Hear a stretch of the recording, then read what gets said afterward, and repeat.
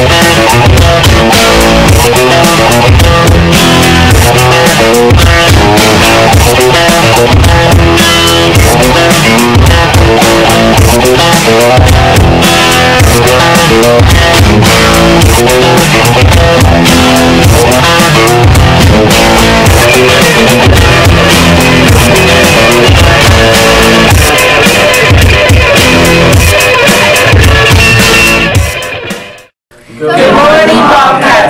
Please stand for the Pledge of Allegiance.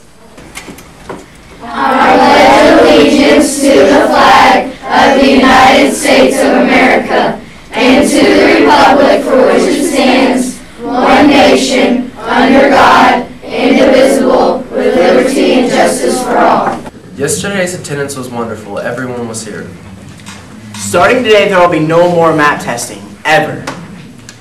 Chick-fil-A will be providing chicken patties for Chicken Patty Tuesday beginning this week after spring break. Justin Bieber has agreed to do the free concert on the last day of school. Make sure to be here. Attendance for Thursday was 6th grade 95%, 7th grade 94%, 8th grade 94%. Overall attendance was 94%. The school goal is 96%. The leadership students are collecting donations for the Bullitt County Animal Shelter.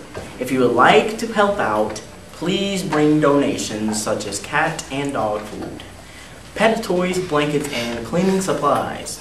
You can drop these items off in Miss Jackson's room, room 103. Are you interested in joining the five-time state championship Bullitt Central High School co-ed cheerleading program? Tryouts will be held April 15th at 5. Open gyms will be held March 20th from 4:30 to 5:30 and April 11th from 4:30 to 6. Bull- Ask Bullitt Central for questions. Track and field practice is every Monday and Wednesday from 3 to 4:30. You must have a sports physical in order to participate. Uniform orders are due. Students, please listen carefully. This is very important. Remember that you may not ride bus 1259 to Bullitt Central unless that is the bus that you ride normally. This bus is full and the Bullitt County Transportation will not allow any extra students to be on bus 1259. If you are currently in a sport at Bullitt Central, your parents will have to provide transportation. This includes weightlifting. If you are going home with a friend, your parents will need to provide transportation.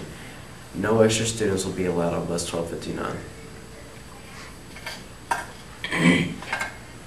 The seventh grade top 10 reading fair winners are Michaela Gardner, Philip Hughes, Garrett Langford, Trent Shefflin, Jessica Antale, Grace Blalock, Elena Green, Abby Miracle, America Jarbo, Sarah Brady, Alyssa Terra, and Preston Konashek.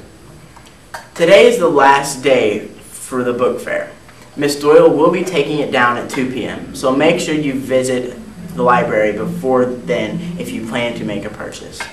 Thought of the day. Good things come to those who wait, but better things come to those who work for it. Do it the Bobcat way. Be respectful, be responsible, and be safe. Have a great day. Bobcats.